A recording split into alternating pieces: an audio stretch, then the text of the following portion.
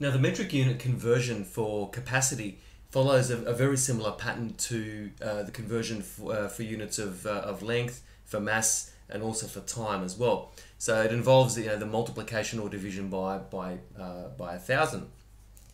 So capacity uh, is, is, was, is, the, is uh, how much a container can hold. So for example, you know, a bottle of water or, or, a box or something like that, um, capacity measures how much can fit inside. So the basic unit of, of capacity is the litre. Okay, so things are generally compared to the, the basic unit. Okay, and you've seen these prefixes before. So there's the milliliter, there's the kiloliter. So similar to what's used for, for length, for example, um, kilometer and millimeter. Okay, now starting off with a gigaliter.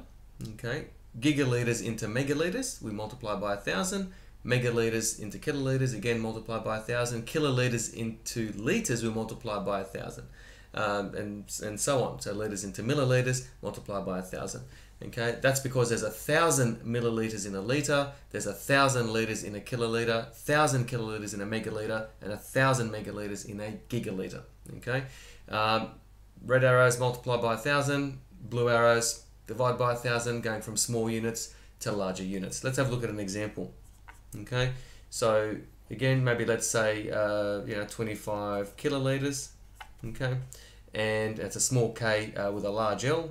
Okay, and we're going to convert that into milliliters.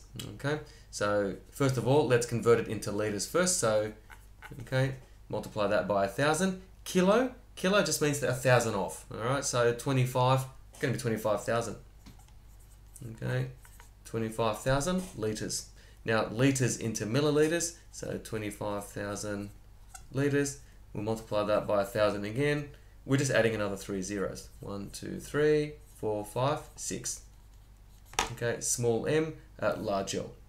Okay so one other thing that I would, would want to point out though is the conversion between volume and, and, and capacity. Now there'll be a separate video again on that but I think it's just it's uh, interesting to note that one cubic centimeter okay so size of a of a, of, a small dice I guess uh, is actually it's equal to one milliliter okay?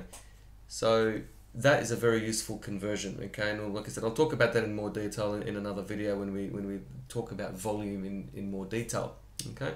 So if we talk about uh, for example one a, a bottle containing one liter of water that's a thousand milliliters that's a thousand cubic centimeters.